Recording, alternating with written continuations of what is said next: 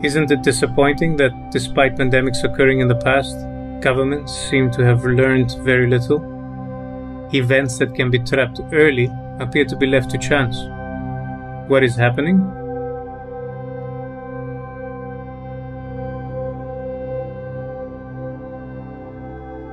Well, what we are seeing is the collateral damage caused by the pursuit of misplaced happiness.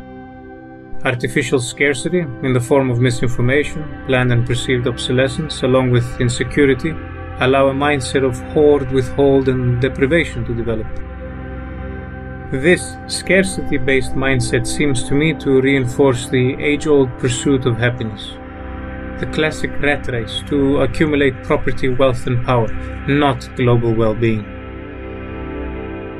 We have inherited the rules of the game that perpetuate and support the current system. I remember reading in the book The Mind in the Making by James Harvey Robinson that in every age, the prevailing conditions of civilization have appeared quite natural and inevitable to those who grew up in them. The cow asks no questions as to how it happens to have a dry stall and a supply of hay. The kitten laps its warm milk from a china saucer without knowing anything about porcelain. The dog nestles in the corner of a divan with no sense of obligation to the inventors of upholstery or the manufacturers of down pillows. So we humans accept our breakfasts, our trains and telephones and orchestras and movies, our national constitution, our moral code and standard of manners with the simplicity and innocence of a pet rabbit. Critical thinking is a prerequisite for a better world. I don't mean overriding suspicion or overinterpreting evidence. We must aim for coherence while being receptive to evidence and view the system with a healthy level of skepticism. I mean scientific evidence, not anecdotal evidence. Anecdotal evidence has its place, but it's weak and can be dangerous and in most cases misleading. They can be convincing when they start using scientific jargon and a testimonial from a so called scientist, but it takes scientific literacy, meaning having a well versed interdisciplinary background in this and related fields, to see through the smoke and mirrors.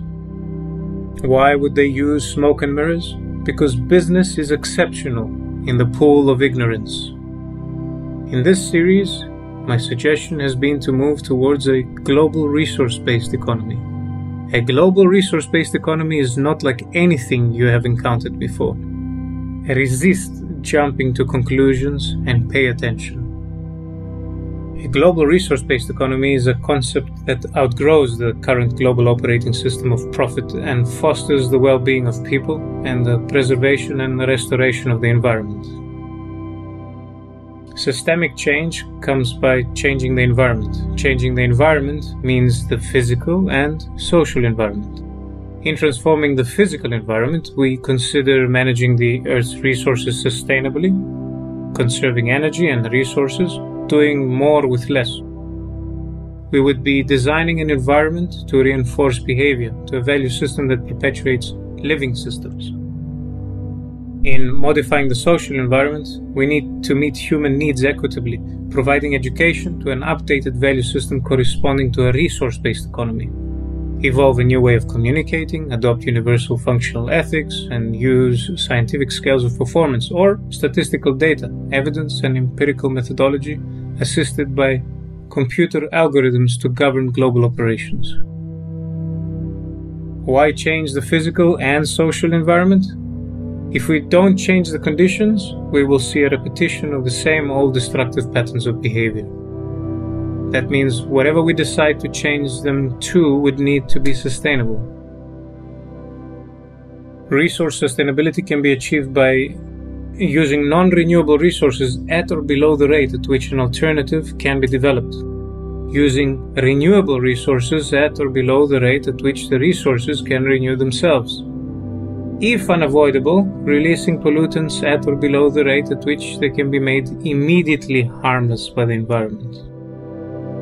Social sustainability demands that we fulfill the deficiency and growth needs equitably by giving everyone access to clean air, clean water, arable land, relevant education, functional and resilient shelter, and an integrated healthcare system that cares rather than profits. Guaranteeing safety and security without the need for police, armies, and navies, providing equal opportunity and encouraging all to pursue personal growth for the greater good, ensuring systemic resilience through careful engineering and constant education, education that would bring about a competent public. All of this would need global cooperation, collaboration, and trust. High social capital needs to be an outgrowth of the system, bringing about a sustainable future. That is why Jacque Fresco developed the idea of a global resource based economy. Now, what is it? And how would it deal with global problems such as pandemics? A resource based economy in many ways mimics the human body. Imagine the human body reacted to problems the way the current system does. For instance, you cut your toe and your immune system responded as slowly as governments do discussing it for days on end and debating, denying, ignoring, downplaying, and voting. We would have gangrene up to our knees. Well, guess what? Here we are with gangrene up to our knees. A systems approach to problem solving is critical. A systems approach is an overall approach to a problem, one that manages the interacting variables thoroughly. A resource based economy looks at all the parts with an overall systems approach and manages them in a way that helps us achieve human well being equitably. Equity, not equality, meaning taking everyone's well being into equal consideration. A systems approach to problem solving would have the healthcare system built in every area of human life. That would be an actual attempt to keep healthy people healthy. What does this mean? A resource based economy would automate jobs identified as repetitive and dangerous.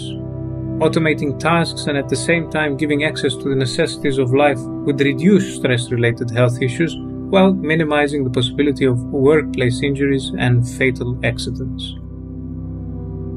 The system will strive to end the need for pollutants, transitionally accepting only pollutants released at or below the rate at which they can be made immediately harmless by the surrounding environment. Public areas, transportation, homes, furniture, devices, clothing could have sensors to observe people's health and adjust our surroundings to manage everything from your desired arousal level to your general health.